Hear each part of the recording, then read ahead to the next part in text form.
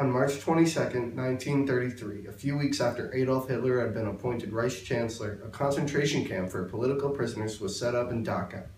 Built on an old munitions factory just southeast of the medieval town of Dachau, it was the first to be built in Germany and became known as the blueprint for concentration camps.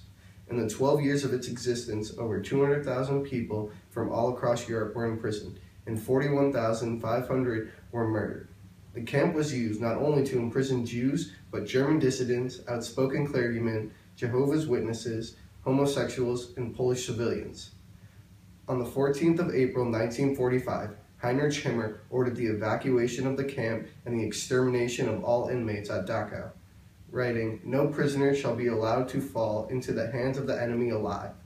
The medieval site on the grounds of the former concentration camp were established in 1965 in accordance with the plans of the surviving prisoners.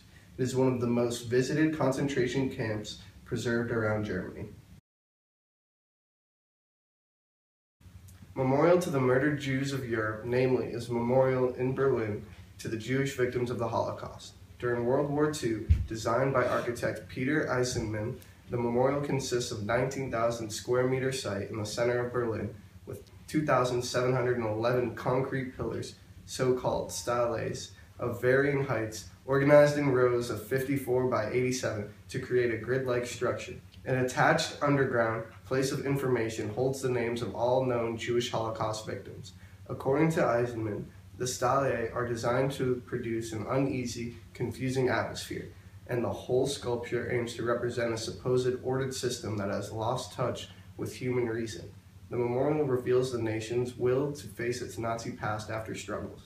The memorial has attracted some controversy and was described by Ignatz Bubis, the then leader of German Jewish community, as unnecessary.